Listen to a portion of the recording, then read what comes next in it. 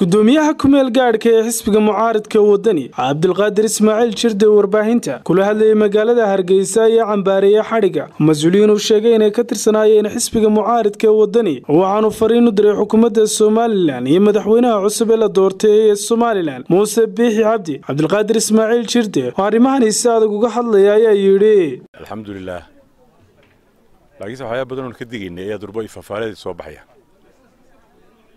waxaa saaka eerboortka isagoo ka dhoofaya lagu xidhay oo laga celiyey nin ka mida qurbajoogii u yimi xisbiga. Ayaa amar qabasho eerboortka loo dhigay. Waxaa kaloo nagu maqaalo ah dad kalena liiskoodaa meesha yaalla. Waxyaabihii aanu ka digayna waa taa durbo bilaabatay. Ninkaa waxaa lagu haystaa? Buuggii komishanka ka lumay uu saxaafadda soo dhigay. Buugu been abuuray may ahayn komishanku xilkiisii uu ku fashilmay bay ahayd. Inay ceebtooda qarsadaan in maanta cid dacweeyaan may ahayn. Xaq waxaanu lahayn maalintaa buuggaasi suuqa soo galay buugagta kale soo gashayba inaanu ku adkaysano inana komishanku hays casilo xaq baanu lahayn.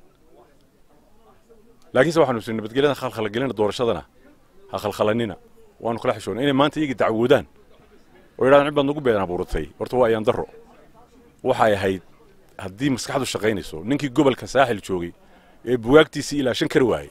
Inuu markiiba iscasilehe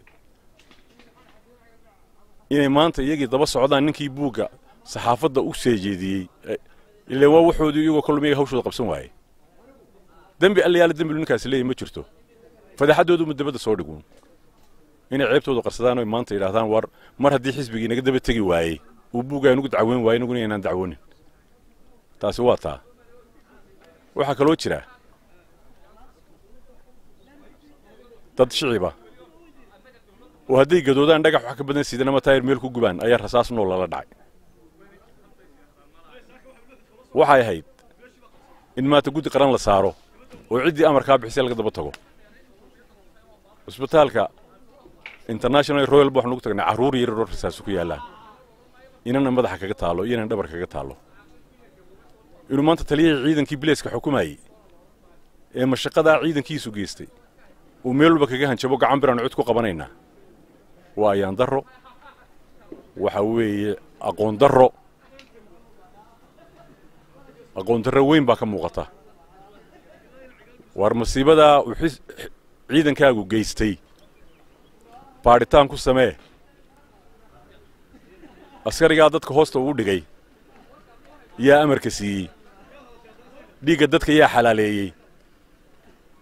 Dhiigga shacabka yaa idiin xalaaleeyey. Waxyaabuhu xisbigani doonaya inu beddelo taasaa ka mid ahayd. Dad shacab oo rasaasunoo nala dhaco. Waxyaabahaanu uba soo gallay siyaasadday ka mid ahayd. In nidaamka caynkaasa iyo dhaqanka caynkaasa ee noloshu dadku qiimo aanay lahayn. Ee ninkii bilayska ahaa amarka bixiyey shaashadda isla soo taagayo gacan biraan wax ku qaban doonaa. Ee aanu gabbanayn. War waxaannu leennahay dalkan cagta ha loo dhigo. Cagajuglayn iyo xadhig iyo hanjabaad iyo cabudhin dadkan wuu soo dhaafay. Dad lagu xukumi kara maaha.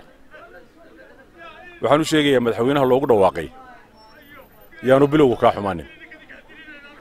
Bilowgu yaanu kaa xumaanin dhaqamadii hore jiri jiray ee lagu shaqayn jiray maanta adaa mas'uuliyaddeeda leh. Wax ka beddel. Taliyayaashaa ciidamadaee shaashadda soo fadhiisanaya shacabka u hanjabayana yaanay dib ugu soo noqonin si kasta ahaatee xadhigga mas'uuliyiintan ayaa loo aanaynaya markii ay dhowaan soo bandhigeen mid ka mid a bugaagta komishanka oo la sheegay in laga xaday goob ku taalla gobolkaasi saaxil oo ahayd goob codbixineed cismaan axmed ismaan star t v hargeysa